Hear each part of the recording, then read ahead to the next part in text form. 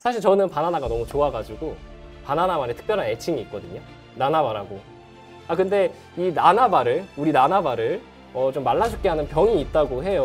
어떤 병인지 좀 먼저 소개를 좀 해주시죠. 푸사리움 옥시스포름이라고 하는 토양 곰팡이가 음. 원인이 되어 발생하는 파나마 병입니다. 네. 이 토양 곰팡이가 바나나 뿌리에 침투해서 바나나의 뿌리하고 잎까지 다 말라 죽게 하는 음, 무서운 병이죠. 네. 바나나가 파나마병에 취약한 이유가 있다고 하더라고요. 어떤 이유 때문인가요? 우리가 먹는 바나나는 단일 품종입니다. 20세기 농업이 산업화되면서 키우기 쉽고 생산성 높은 효율적 품종을 개발 보급하면서 단일 품종 재배가 시작되었는데 이런 단일 품종 재배는 모든 작물이 동일한 유전적 음. 특성을 가지고 있기 때문에 특정 병해충이나 질병에 취약하고 바나나가 파나마 병에 취약한 이유도 이렇게 키우기 쉽고 생산성이 높은 단일 품종을 재배하였기 때문이라고 할 수 있습니다. 단일 품종 재배의 이 한계를 극복하기 위한 방법도 있을 것 같은데 어떤 대안이 있을까요, 연구사님? 생산성이 높은 다양한 품종을 꾸준히 개발하는 한편 다양한 품종의 작물이 재배될 수 있도록 국가적인 지원까지 이어진다면 단일 품종 재배로 인한 문제점을 많이 해소할 수 있을 것으로 기대됩니다. 무더운 여름을 행복하게 보내게 해준 파리 올림픽이 우리 선수들의 선전에 성황리에 막을 내렸습니다. 올림픽을 통해 매번 새로운 스포츠 스타가 탄생해 왔는데 삐약이 신유빈 선수가 그중 한 명이라고 할 수 있겠죠. 12년 만에 탁구 올림픽 메달을 안겨준 신유빈 선수는 실력도 실력이지만 경기 중 에너지젤과 바나나 먹방으로도 큰 화제를 일으켰습니다. 바나나는 탄수화물 함량이 높고 소화와 체내 흡수가 빨라 에너지 보충에도 효과적인 음식일 뿐만 아니라 근육 경련을 예방하는 마그네슘도 다량 함유하고 있어 스포츠 선수들이 선호하는 간식이라고 하는데요. 이런 바나나를 위협하는 곰팡이가 있다는 것 알고 계셨나요? 푸사리움 옥시스포름이라고 부르는 이 곰팡이는 바나나 뿌리를 감염시켜 바나나를 말라 죽게 하는데 그동안은 이 곰팡이를 막을 방법이 없었지만 최근 이 곰팡이의 약점을 찾은 연구가 발표되어 관심을 끌고 있습니다. 오늘 바나나를 괴롭히는 악동을 소개해 주실 분은요. 국립과천 과학관의 식물사랑꾼 김선혜 연구사님입니다. 연구사님 안녕하세요. 네, 안녕하세요. 사실 바나나가 먹기도 되게 편하고 맛도 좋으니까 제가 되게 좋아하는 과일 중에 하나거든요. 연구사님은 어떠세요?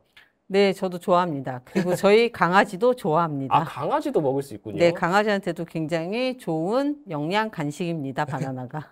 사실 저는 바나나가 너무 좋아가지고 바나나만의 특별한 애칭이 있거든요. 나나바라고. 좀 귀엽지 않나요? 아니요, 너무 이상합니다.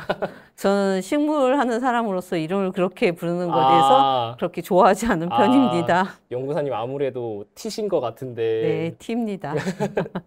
아 근데 이 나나바를 우리 나나바를 어, 좀 말라 죽게 하는 병이 있다고 해요. 어떤 병인지 좀 먼저 소개를 좀 해주시죠.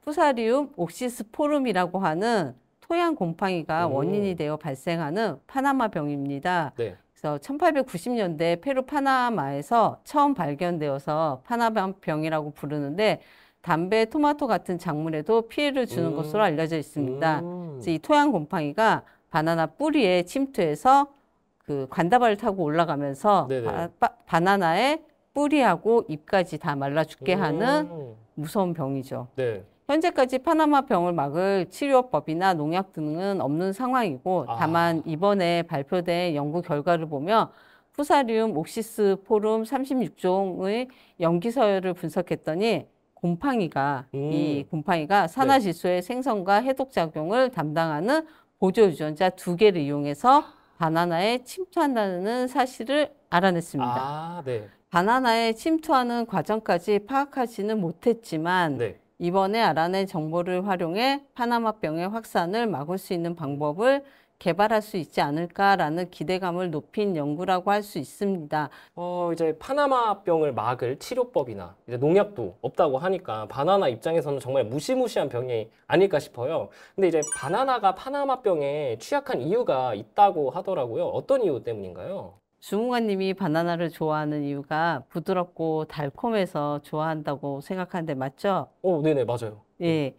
근데 바나나는 원래 열매 속에 크고 딱딱한 씨를 품고 있어서 먹기가 굉장히 불편하다는 것을 혹시 알고 계셨나요? 어, 아니요. 씨가 있다고요?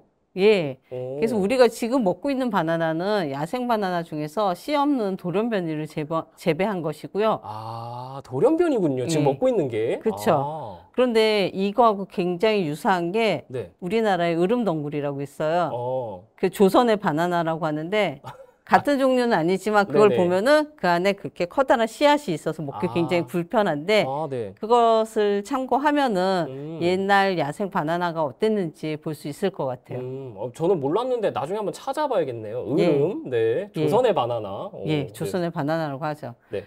근데 현재도 전 세계 이제 다양한 종류의 야생 바나나가 자라나고 있기는 하지만 네. 우리가 먹는 바나나는 단일 품종입니다. 음. 먹기 좋은 씨 없는 바나나를 경작하기 위해서 아, 바나나를 수확하면 네, 씨로 번식을 하는 게 아니라 네. 씨가 없으니까 네. 밑동을 잘라서 그걸 다시 심는 방식으로 아, 씨가 없으니까 번식을 그렇게 해야 되는군요. 그렇죠. 아. 그렇게 하다 보니까 유전적으로 동일한 바나나만 얻게 되는 거죠. 아, 유전적으로 동일하다 보니 기후 변화나 병해충에 취약한데 바나나는 이전에 이런 위기를 이미 겪은 적이 있습니다. 어. 1950년대까지 널리 재배되던 품종인 그로미셸은 음. 현재 주로 재배되는 캐번디시 바나나보다 맛과 향이 좋은 것으로 알려져 있었습니다. 아, 지금 먹는 바나나보다 예전 바나나가 더 맛있었었군요. 그렇죠. 오. 그런데 그로미셸 품종도 전부 유전적으로 동일한 품종이기 때문에 파나마병이 유행되자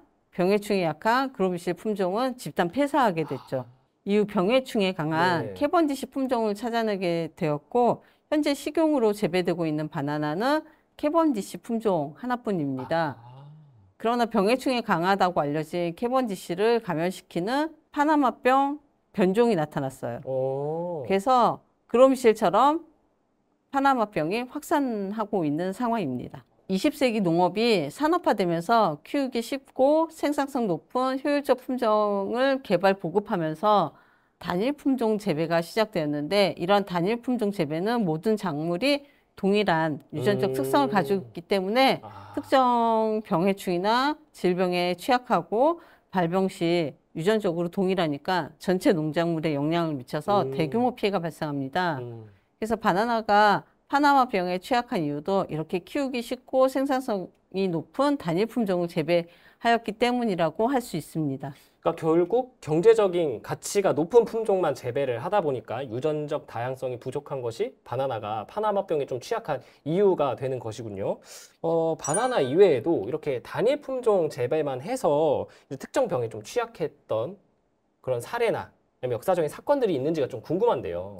예, 여러 가지 사례가 있는데 네. 바나나와 같은 특정 품종에서 생기는 병해충 사례 중에 19세기 아일랜드 대기근을 가지고 온 어, 감자 마름병. 아. 이때 아일랜드의 감자가 주식이었는데 네네. 이 감자 마름병으로 인해서 감자 수확이 감소되고 이로 네네. 인해서 엄청나게 많은 사람이 굶어 죽고 아. 또 미국으로 이민을 가는 역사적인 사건들이 있었었죠. 한마디로 이렇게 작물을 감염시키는 병 때문에 이제 다른 나라로 이주까지 가야 되는 이런 역사적인 사건이 또 발생한 배경이 된 거군요. 그렇죠.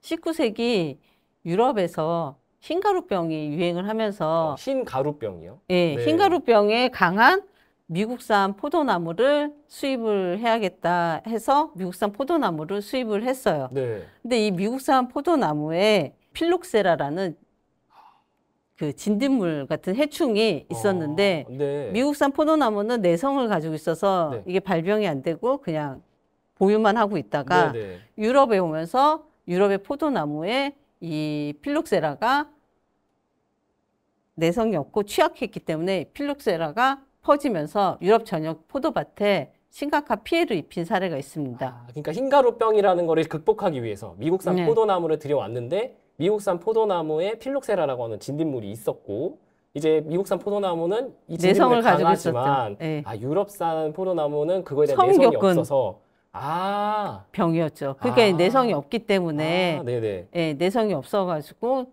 취약했기 때문에 유럽 전역에 이 필록세라가 퍼진 적이 있어요. 19세기에. 아, 네네. 그래서 19세기 후반에 프랑스, 이탈리아, 스페인, 포르투갈 같은 주요 와인 생산국들이 이 포도밭이 이 해충으로 인해서 피해를 네. 엄청나게 입었고 오. 당시 유럽 포도밭의 약 70% 이상이 와, 파괴되었습니다. 네. 그래서 이 필록세라를 어떻게 극복할 것인가 네네. 했을 때 이 필록세라 의 내성을 가지고 있는 미국산 포도나무를 가지고 오자. 네네. 이 필록세라가 토양에 있는 네. 뿌리를 통해서 감염이 되기 때문에 네네. 미국산 포도나무 밑동을 가지고 왔어요. 네. 그럼 토양으로 침투가 안 되게끔. 그래서 어, 그쵸, 미국산 그쵸. 포도나무의 밑동을 가지고 오고 그 위에 유럽산 포도나무를 접붙였죠. 아, 그러니까 혼종이 나온 거군요. 예, 접붙이기를 해서 키우게 됐는데 이 사건으로 인해서 포도 재배와 와인 생산 역사의 중요한 전환점으로 여겨졌고 유럽의 포도 품종이 사실은 미국산 포도나무에서 음. 시작이 됐다라고 볼 수가 있는 거죠. 앞서 말한 것처럼 네. 단일 품종 재배는 모든 작물이 동일한 유전적 특징을 음. 가지고 있기 때문에 특정 병해충이나 질병에 취약하기 때문에 네.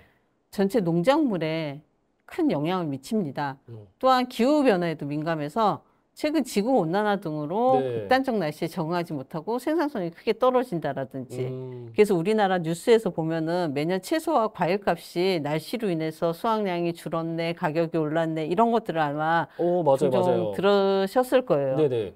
특히 우리나라 같은 경우에는 좁은 면적의 생산성을 높이기 위해서 거의 전 농가가 단일 품종으로 재배하고 있다고 음.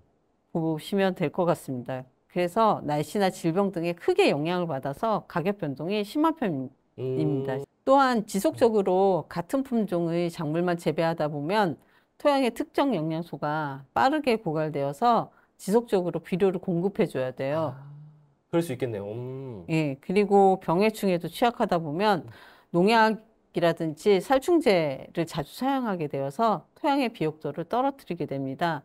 잦은 살충제 사용은 그 지역의 생물 다양성을 악화시키고 생태계에도 악 영향을 줄 수 있습니다. 이 단일 품종 재배가 기후랑 병해충에 이제 취약한 문제뿐만이 아니라 이제 생태계 전반적으로도 좀 악영향을 미칠 수 있는 것 같아요. 어, 그렇다면은 이제 단일 품종 재배의 이 한계를 극복하기 위한 방법도 있을 것 같은데 어떤 대안이 있을까요, 연구사님? 최근에는 다품종 재배와 순환 재배, 유기농 재배 등이 대안으로 떠오르고 있습니다. 특히 바나나, 커피 등 단일 품종 재배에서 큰 피해를 보았던 남미와 아프리카에서 단일 품종과 단일 작물 재배를 줄이고 좀 다양한 방법으로 작물을 음. 재배하려고 노력하고 있습니다. 예를 들어 삼림 농업이라고 해서 음. 나무하고 농작물을 같이 재배하는 농업 방식인데 네. 예를 들어 코코아하고 카카오, 커피 등 열대 다른 나무를 같이 심어서 재배하는데 아, 네. 재배 면적이 조금 줄어들 수 있어도 어, 같이 심은 나무로부터 다양한 영양분들이 고루 아, 분포되기 때문에 네네. 토양의 비옥도를 지키고 병해충 피해를 줄이면서 네. 생물 다양성을 지키는 농업 기법으로 각광을 받고 있습니다. 아, 이렇게도 할 수 있군요. 네. 네.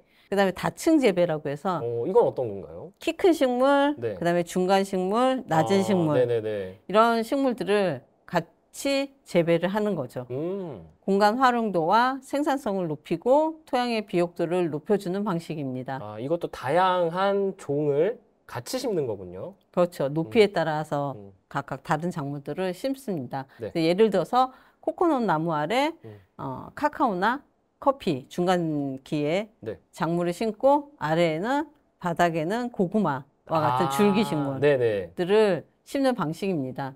이외에도 국가적으로 다품종 재배를 요즘은 음. 권장을 하고 있어서 음. 외국의 슈퍼나 마트 같은 데 가게 되면은 사과나 포도 등 과일 품종이 굉장히 다양합니다. 그래서 음. 사과도 빨간색, 노란색, 초록색 굉장히 다양한 품종들이 있고 네네. 축산도 마찬가지로 음. 뭐 소고기, 돼지고기 이렇게만 파는 게 아니라 어느 지역에 어떤 품종의 소다 음. 그리고 돼지 다 아. 이런 것들이 다 네네. 예, 품종과 지역별로 나눠져서 판매가 되고 있습니다. 아, 하긴 생각해 보니까 이게 식물에만 한정할 게 아니라 동물에도 동일한 게 적용이 될 수 있겠네요. 네. 동물들도 동일한 품종만 하게 된 경우 이제 우리나라에서도 종종 발생하지만 전염병이 퍼지면 예, 대부분 폐사해야 되기 때문에 네네. 축산에서도 이런 단일 품종을 사육하는 거에 대해서 경계를 많이 하고 있습니다. 아, 네네. 그래서 생산성이 높은 다양한 품종을 꾸준히 개발하는 한편 다양한 품종의 작물이 재배될 수 있도록 국가적인 지원까지 이어진다면 단일 품종 재배로 인한 음. 문제점을 많이 해소할 수 있을 것으로 기대됩니다. 여러분 수미 감자 많이 들어보셨나요? 미국에서 개량된 수미 감자는 수확량도 많고 재배도 쉬워서 그동안 국내에서 주로 생산하던 감자인데 생육 초기 저온의 생장 환경이 필요하다고 합니다. 그러나 온난화로 평균 기온이 상승하면서 수미 감자를 수확하기 어려운 환경이 되었고요. 수미 감자 수확량이 급감하게 되었다고 합니다. 현재 수미 감자의 빈자리는 더위에 강한 새로운 품종의 감자로 대체되어서 감자 가격이 급등하거나 국내에서 생산되는 감자가 사라지는 최악의 상황은 겪지 않았지만 빠르게 기후 변화가 진행되고 있는 만큼 단일 품종 재배로 인한 문제가 우리나라에서도 발생할 수 있다는 경각심을 느끼게 한 사례라고 할 수 있습니다. 문화도 생각도 다양성을 존중받는 요즘 생물 다양성의 중요성과 그 가치에 대해서 인식이 높아지기를 기대해 보도록 하겠습니다. 오늘 파나마병으로 시작해서 생각지도 못하게 좀 다양성의 가치를 다시 한번 느끼게 해준 시간이 되었는데요. 또 그런 생각을 한 번 더 하게 해주신 오늘 김선혜 연구사님께 감사하다는 말씀 드리고요. 오늘 요즘 과학은 여기까지입니다. 다음번에 더욱 흥미로운 과학 뉴스로 만나요. 그럼 안녕! 안녕!